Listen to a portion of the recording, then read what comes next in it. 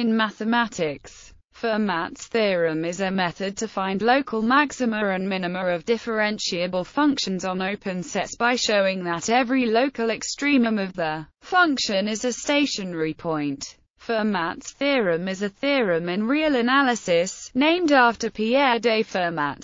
By using Fermat's theorem, the potential extrema of a function, with derivative, are found by solving an equation in Fermat's theorem gives only a necessary condition for extreme function values, and some stationary points or inflection points. The function's second derivative, if it exists, can determine if any stationary point is a maximum, minimum, or inflection point. Statement one way to state Fermat's theorem is that whenever you compute the derivative of a function's local extrema, the result will always be zero. In precise mathematical language, let be a function and suppose that is a local extremum of, if is differentiable it then. Another way to understand the theorem is via the contrapositive statement.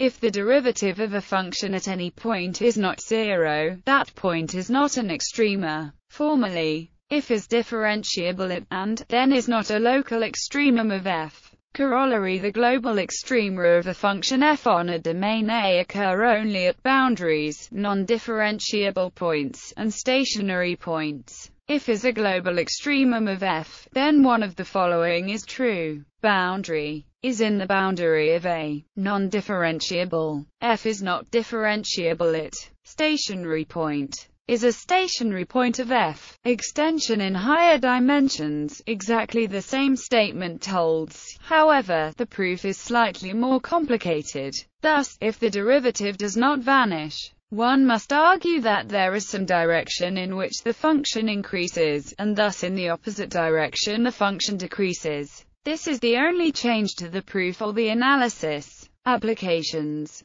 Fermat's theorem is central to the calculus method of determining maxima and minima. In one dimension, one can find extrema by simply computing the stationary points, the non-differentiable points, and the boundary points and then investigating this set to determine the extrema. One can do this either by evaluating the function at each point and taking the maximum, or by analyzing the derivatives further using the first derivative test, the second derivative test, or the higher-order derivative test. Intuitive argument Intuitively, a differentiable function is approximated by its derivative. A differentiable function behaves infinitesimally like a linear function or more precisely. Thus, from the perspective that, if f is differentiable and has non-vanishing derivative then it does not attain an extremum at, the intuition is that, if the derivative at is positive, the function is increasing near while if the derivative is negative, the function is decreasing near in both cases. It cannot attain a maximum or minimum, because its value is changing. It can only attain a maximum or minimum if it stops, if the derivative vanishes. However, making behaves like a linear function, precise requires careful analytic proof. More precisely, the intuition can be stated as if the derivative is positive, there is some point to the right of where f is greater, and some point to the left of where f is less, and thus f attains neither a maximum nor a minimum at conversely, if the derivative is negative, there is a point to the right which is lesser, and a point to the left which is greater. Stated this way, the proof is just translating this into equations and verifying how much greater or less. The intuition is based on the behavior of polynomial functions. Assume that function f has a maximum at x0, the reasoning being similar for a function minimum. If is a local maximum then, roughly, there is a neighborhood of such as the function is increasing before, and decreasing after. As the derivative is positive for an increasing function and negative for a decreasing function, is positive before and negative after, doesn't skip values, so it has to be zero at some point between the positive and negative values.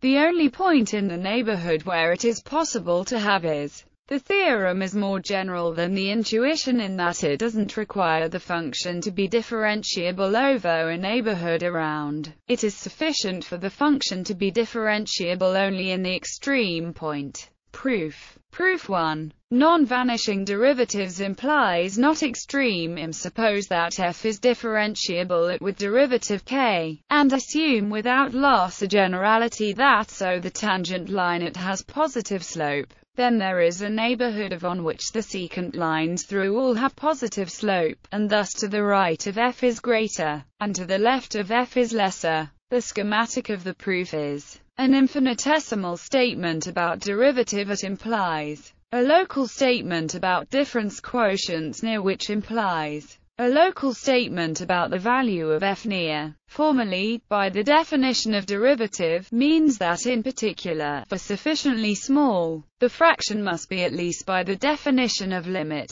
Thus on the interval, one has one has replaced the equality in the limit with an inequality on a neighborhood, thus rearranging the equation, if then, so on the interval to the right, f is greater than an if then, so on the interval to the left, f is less than thus is not a local or global maximum or minimum of f. Proof 2. Extremum implies derivative vanishes alternatively. One can start by assuming that is a local maximum, and then prove that the derivative is zero. Suppose that is a local maximum. Then there such that and such that we have with Hence for any we notice that it holds since the limit of this ratio as gets close to zero from above exists and is equal to we conclude that. On the other hand for we notice that but again the limit as gets close to zero from below exists and is equal to so we also have. Hence we conclude that cautions a subtle misconception that is often held in the context of Fermat's theorem is to assume that it makes a stronger statement about local behavior than it does. Notably, Fermat's theorem does not say that functions increase up to, or decrease down from, a local maximum. This is very similar to the misconception that a limit means monotonically getting closer to a point.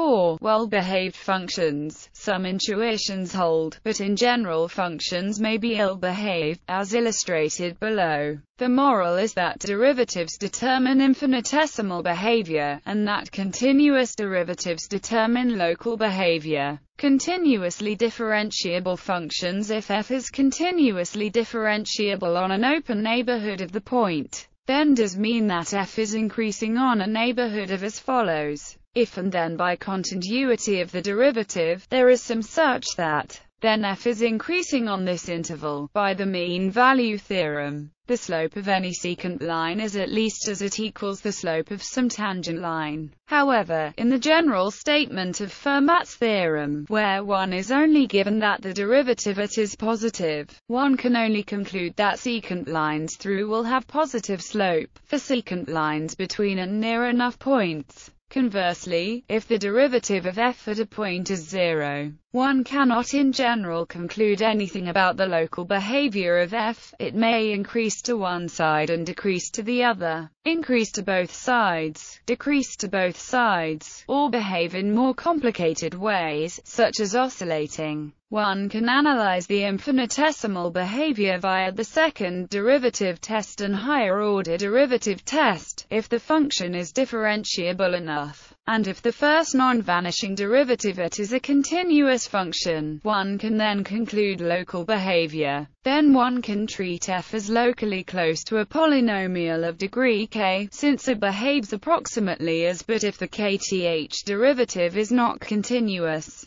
One cannot draw such conclusions, and it may behave rather differently. Pathological functions consider the function, it oscillates increasingly rapidly between and as x approaches zero. Consider then, this oscillates increasingly rapidly between 0 and as x approaches 0. If one extends this function by then the function is continuous and everywhere differentiable, but has rather unexpected behavior near 0. In any neighborhood of 0 it attains 0 infinitely many times, but also equals infinitely often. Continuing in this vein, oscillates between an and is a local and global minimum. But on no neighborhood of zero is it decreasing down to or increasing up from zero it oscillates wildly near zero. This pathology can be understood because, while the function is everywhere differentiable, it is not continuously differentiable. The limit of as does not exist, so the derivative is not continuous at zero.